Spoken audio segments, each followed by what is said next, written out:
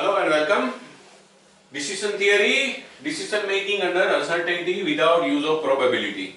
And now we are going to discuss the third approach, third principle that is Horwich or Horwick or Horwish principle. Now I leave it to you how to pronounce it Horwick or Horwich or Horwish principle. That is actually a compromise between the optimistic approach, the maximax principle and the optimistic approach, the maximin principle. It is suggested to take a balance between them, neither to select the maximum of the minimum nor to select the maximum of the maximum directly. But according to the say approach of the decision maker to make some balance. How to make some balance by using alpha that is the coefficient of optimism if the total of the probabilities of a decision maker being optimistic and pessimistic is 1 then alpha is the probability or rather subjective probability of the decision maker being optimistic. So its value is always between 0 and 1. If the decision maker is not at all optimistic then the value of alpha for him is 0. This is subjective probability. Indirectly, we are going to use the probability. But this probability is totally subjective for the particular decision maker. It is not at all based on any past records. It is not calculated with the help of any frequency distribution or any selection. That's why it is subjective. The value of alpha changes if the, if the decision maker is changed for the particular decision. So it is subjective. Now, in this particular case, we need to take alpha as 0.4.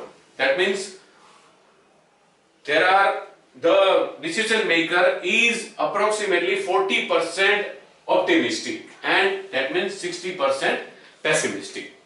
Now what is the exact procedure of arriving at the final conclusion? In the first step, we need to apply this formula. According to this formula, alpha is multiplied by the maximum payoff of an action.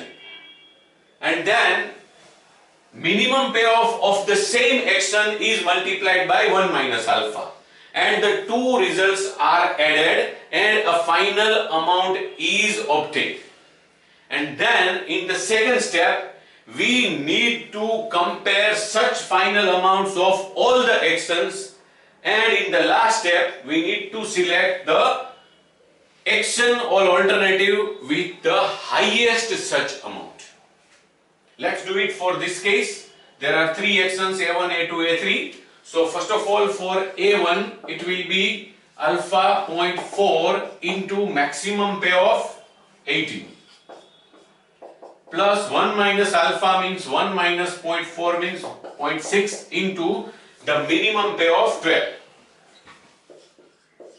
So it is 0.4 into 18, 7.2 plus 0.6 into 10, 12, 7.2, ultimately it is 14.4.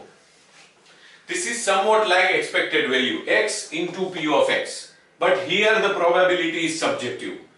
If X is the decision maker, alpha can be 0.4. If Y becomes the decision maker, in same case, alpha can be different according to Y. If Z becomes the decision maker, alpha can again be the different.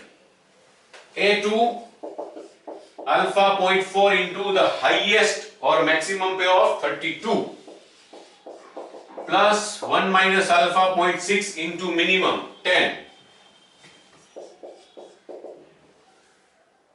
12.8 plus 6 18.8 and A3 the large sized factory alpha 0.4 into the maximum payoff 40 plus 1 minus alpha 0.6 into the minimum payoff 8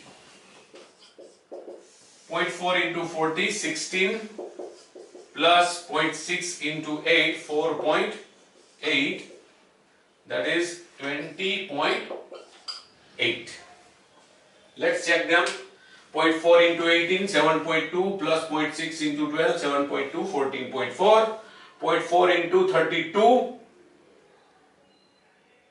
12.8 plus 0.6 into 10 6 12 plus 6 18.8 0.4 into 40 16 0.6 into 8 4.8 16 plus 4.8 20.8 this was the first step. Applying this formula we calculated the expected payoff now to arrive at the conclusion select the highest expected payoff among all these 20.8 is the highest and the corresponding action is A3. A3 means to create large sized factory.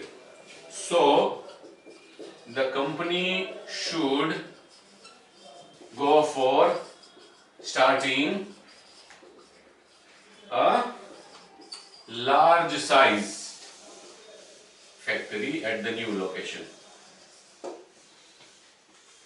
So this was Horvick or Horvish or Horwich principle where we need to use the alpha that is subjective probability that is also known as coefficient of optimism and this is the formula to be used to calculate the expected payoff of all the actions and ultimately at the end we need to select the action with the highest such expected payoff. That's it. Thank you very much.